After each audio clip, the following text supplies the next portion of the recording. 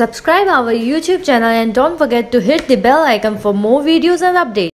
ये देखिए, ये जीएसएम सोर्सेज का स्टेंसिल है और एमओई ब्रांड लिखा हुआ है इसके ऊपर।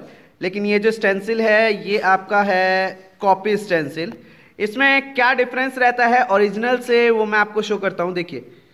जब आप इसको पास में लेके आएँगे तो इसके होल्स जो हैं, वो देखिए आप ध्यान से, कि ये होल्स जो है, ये आपके गोल है राउंड है। जो ओरिजिनल स्टेंसिल होता है एमओई का उसके बॉल्स कभी भी आपके राउंड शेप में नहीं मिलेगा आपको। और इसके साथ साथ मैं आपको एक ओरिजिनल भी दिखाता हूँ।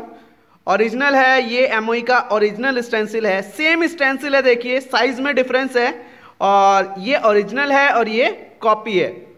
जो ओरिजिनल स्टेंसिल है, इसके अंदर आप देखिए, जो इसके ब्लॉक्स हैं, जो ब्लॉक्स हैं इसके आईसी के वो आपके स्क्वायर है।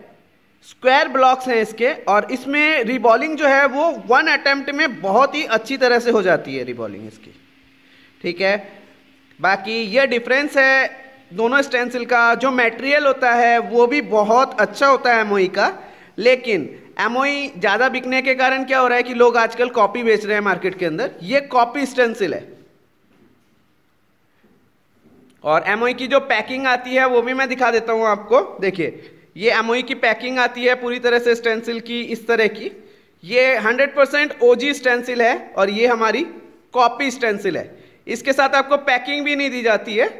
सिर्फ़ नॉर्मल ये स्टेंसिल है। इसका मटेरियल जो रहता है, वो हार्ड रहता है और बैंड करने पे ये क्या होता है? बैंड हो जाता है। देखिए, ये देखिए बैंड हो जा रहा है। ये देखिए डिफरेंस देखिए इसका। और इसके मटेरियल का आप डिफरेंस देखिए।